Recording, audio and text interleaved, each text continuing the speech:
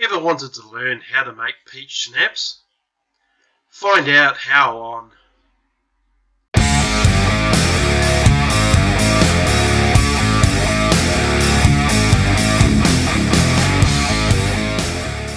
Peach schnapps is a popular alcoholic drink that is enjoyed all around the world. It is a sweet, peach-flavored liqueur that can be consumed on its own, or used in a variety of cocktails. Making your own peach schnapps from scratch is a fun and rewarding activity that allows you to customize the flavor and sweetness to your liking.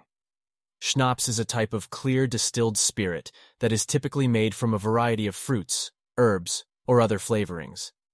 The process for making schnapps can vary depending on the specific type and flavor you are trying to create, but there are a few basic steps that are common to most schnapps recipes. Choose your base. The first step in making schnapps is to choose the base ingredient that you want to use. This can be any type of fruit.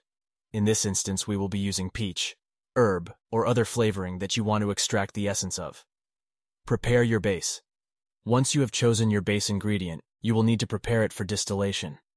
This typically involves crushing or macerating the fruit or herb to release its juices and flavors. Fermentation. After your base ingredient has been prepared, it is time to ferment it. This involves mixing it with water and sugar and allowing it to sit for several days or weeks.